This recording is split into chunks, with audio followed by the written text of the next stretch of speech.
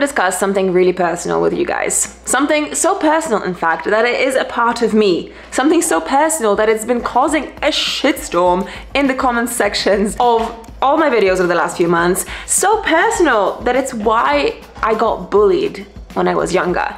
The subject is body hair. Or maybe I should say the lack of body hair. Because like so many women all around the world, I used to have a very strict shaving routine, kind of on autopilot. I never really questioned why I'm shaving, never really gave it that much thought. But I do know when it all started. I started questioning my body hair one very fateful day when I was about 10 or 11 years old and I went into school and there was a girl there who looked me straight in the eye and she told me that I had a mustache. Yeah, I had like a bit of dark hair over my upper lip right here. I just found that so painful. so painful that I couldn't get it out of my head. I thought there was something wrong with me, that I wasn't a real girl because I had a mustache, because I had some hair on my body, and apparently that wasn't acceptable. So I just remember going back home that day and within a few days I started waxing my upper lip. And uh, that was the beginning of my journey with hair. So today I want us to talk about why we shave. Oh yeah, and we'll also definitely, definitely talk about this. This has been pretty scandalous. But first, a little bit of background on hair. A lot of our shaving habits today are the result of a massive marketing campaign by Gillette a short 100 years ago. But before we get into that story of corporate greed, let's go even further back. You are so hairy, you are literally all hair. My little hairy boy. Women and men have been removing their hair for thousands of years in various cultures, but not for the same reasons that we remove it today. In ancient Egypt, high ranking women removed all their hair, including the hair on their very heads, except their eyebrows. In ancient Greece, the ruling classes also removed their hair, as this symbolized wealth and power. In Elizabethan England, wealthy women left their body hair intact but removed their eyebrows, unlike the ancient Egyptians. Safe to say, hair removal trends have come and gone throughout history, but really only applied to the ruling classes, who had enough disposable time on their hands to get the job done. And if you look at religions, they all have different approaches. Sikhism forbids hair removal. In some branches of Islam, you're expected to remove your pubic hair. Buddhist monks usually shave their heads at some point in their lives. In fact, body hair has been used in many facets of society, especially as a way of distinguishing classes of people. Today, body hair and the removal of it isn't really seen in the same way. I mean, I wasn't shaving my legs to suggest I belong to the ruling class. Instead, I was shaving my legs because I felt like it was something that was expected of me, something my female friends and family members did.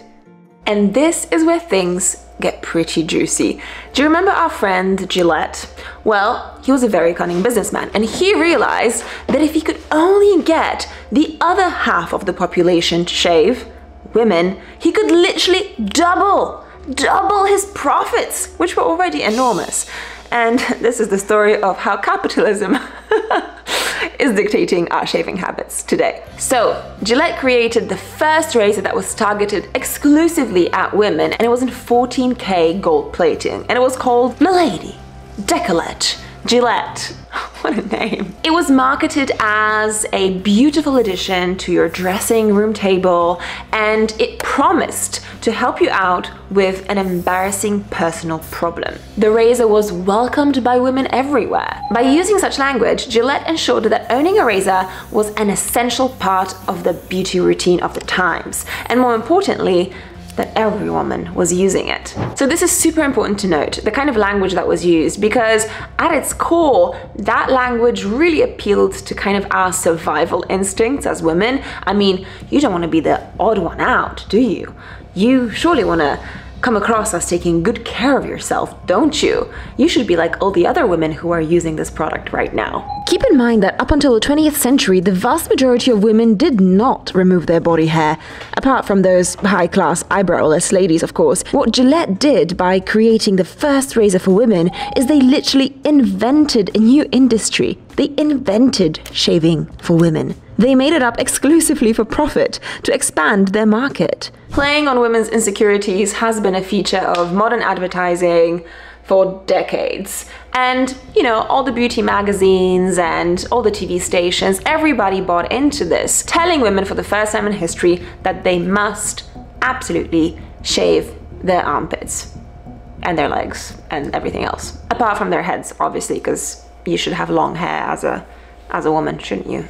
For women at the time, when dresses were getting shorter, sleeves becoming non existent for the first time in fashion in a really long time, marketing by Gillette ensured that the mere idea of dancing with your arms up in the air at a party in a sleeveless dress was an experience that needed to be feared or cause anxiety unless your pits were perfectly shaved. At the time, this kind of advertising by Gillette seemed to promise women that if they shaved, they would be seen as attractive and dainty and lovely to men.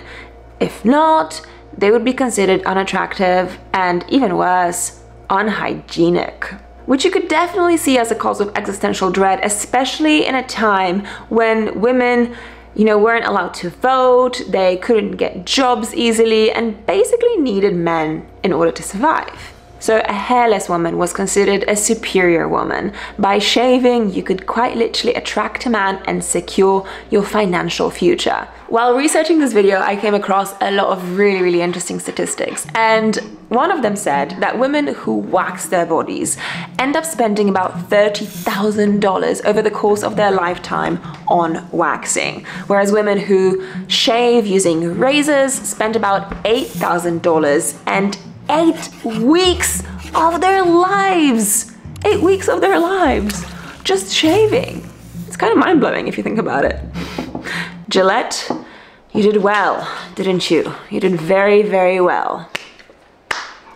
And women shave for so many different reasons. Some of us shave because we don't like the look of body hair. Some of us shave because we feel that hair is smelly or unhygienic. By the way, it's it's really, really not, but we'll get there. Other people may shave because they worry about how other people might see them or because their partner wants them to shave. There are just so many different reasons why we shave and I will be the first one to admit, despite deciding not to shave my armpits anymore, I did shave my legs the other day after not shaving them for six months. But I think the general consensus is in most societies that if you don't shave, that means you're unhygienic and probably weird and maybe just a hairy feminist. Do you remember when back in the 90s, Julia Roberts went to the premiere of Notting Hill with hairy armpits? It was radical. This huge Hollywood celebrity at the height of fame seemed to be defying all beauty standards. A woman who doesn't shave her armpits unthinkable. Just take a look at the women in all the magazines and all TV ads, in fact, all of TV, all of media, all of Hollywood. It would be a real struggle to find any women who have any semblance of body hair. Even ads for razors and like waxing strips, the women in those ads do not have any hair to start with.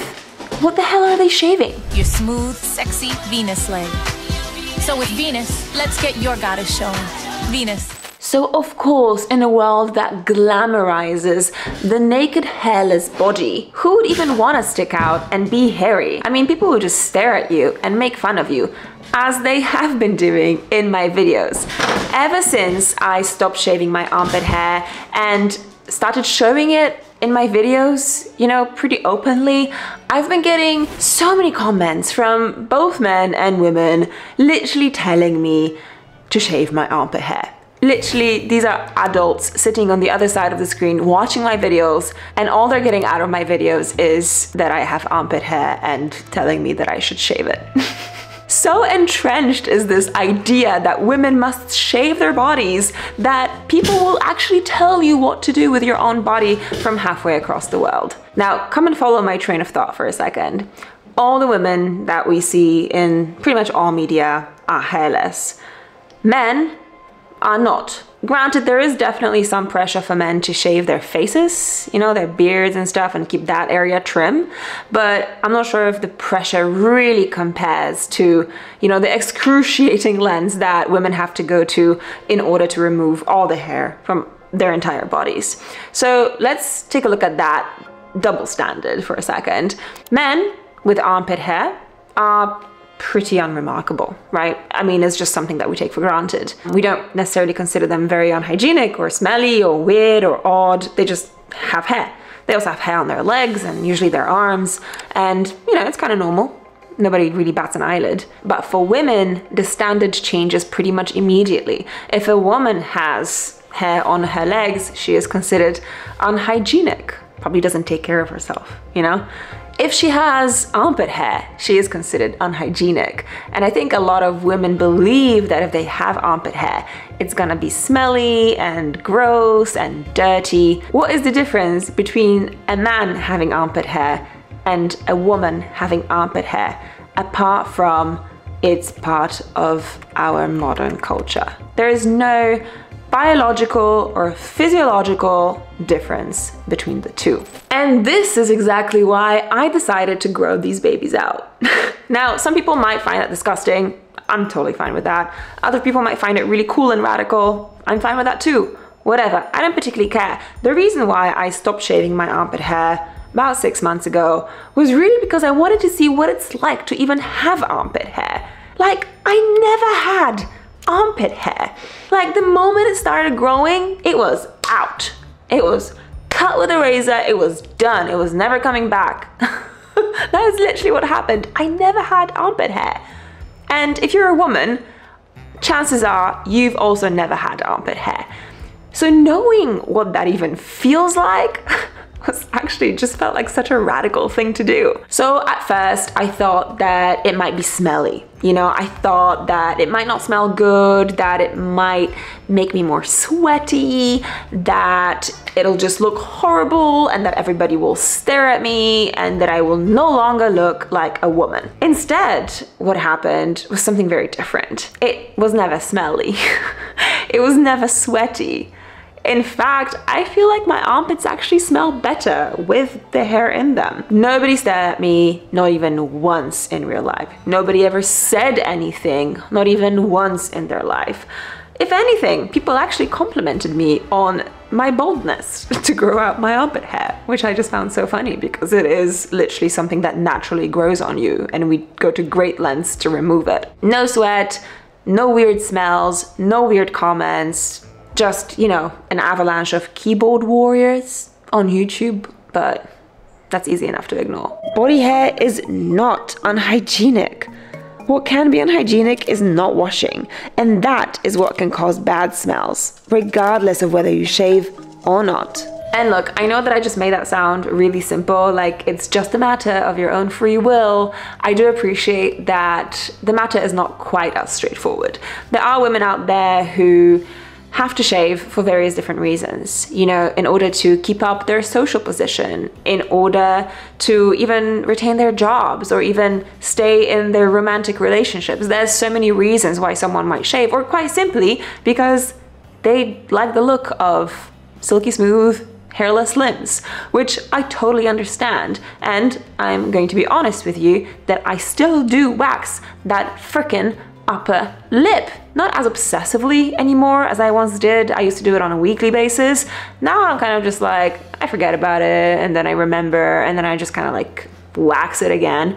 But I still do it because I feel like that childhood trauma, that experience of being bullied about my body hair stayed with me for a really, really long time. So there's so many reasons why someone might shave and I still do. I think my point is that I now know that a huge part of why we shave has been dictated by corporate marketing at the beginning of the 20th century. I now know that hair does not make you smelly or unhygienic. I now know that I love my body just the way it is, and if a future partner or boyfriend had a problem with my body hair, I am now secure enough in myself to tell him to f off.